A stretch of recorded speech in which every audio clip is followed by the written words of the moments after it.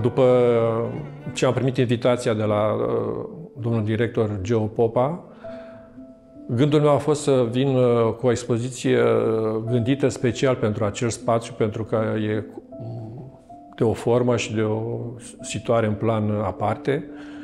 Și uh, am fost preocupat de lucrul ăsta pe lângă tema expoziției și uh, ceea ce eu deja aveam cumva pornit uh, ca idee. Uh, am ținut foarte mult să fac o desfășurare plăcută ochiului și uh, totodată cu adânci trăiri, pentru ca publicul să perceapă ceva deosebit, ceva înălțător.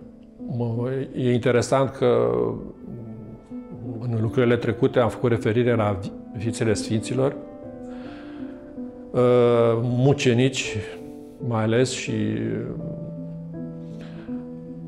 aici a fost uh, acest gând al meu știind că Sfinții Mucenici sunt mai numiți și îngeri în trup.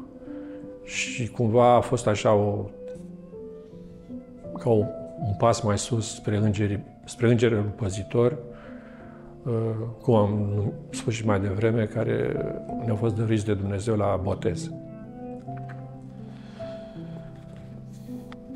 În legătură cu tema expoziției și cu titlul și cu frământările mele de ultima perioadă, am uh, găsit aceste versuri ale poetului Rainer Maria Rilke și am să citez uh, numai un fragment dintr-o poezie în care poetul vorbește despre această minune pe care ne-a făcut-o da, în dar Bunul Dumnezeu. Citez. Numai când își întind aripile, sunt deșteptătorii unui vânt, ca și cum Dumnezeu ar umbla cu cuprinzătoarele sale mâini de sculptor prin paginile întunecate cărți a începutului. Traducerea a fost făcută de Dinu Pilat, iar acum o să citesc uh, tot același fragment în traducerea poetului Șerban Foarță. Doar când din aripi bat departe, un vânt se naște, ca și cum, cu mâini de sculptor, proprii ai carte, afacerii, ciudat, de aparte, a răsfoi-o Domnul acum. Am găsit uh, minunat uh, aceste două, un mic exemplu ce înseamnă îngerul în viața oamenilor și ce a însemnat în istorie, că iată, Maica Domnului a primit vestea nașterii pruncului Iisus de la un înger, de vorba de Sfântul uh, Arhanghel uh, Gavril. La fel, uh, la mormânt, când mirosițele au venit să îl caute pe Iisus, să facă cele firești cu trupul unui mort, la Sfântul Mormânt a fost, au fost întâmpinate de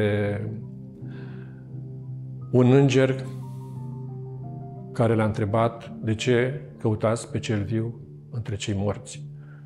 Sunt uh, numai două exemple, spun eu, uh, grăitoare în legătură cu importanța și prezența îngerilor în viața noastră. Revin la ce am spus mai înainte, la vorba de îngerul păzitor, Uh, care ne călăuzește pașii și ne îndrumă spre cele bune. La fel, ei vor fi în preajma noastră când vom face pasul spre viața de veci. Și atunci vor încerca să arate Bunului Dumnezeu faptele noastre bune. Dacă există, dacă nu, va urma ceva care nu ne va fi deloc plăcut. Și aș vrea să amintesc un rând din rugăciunea către Îngerul Păzitor.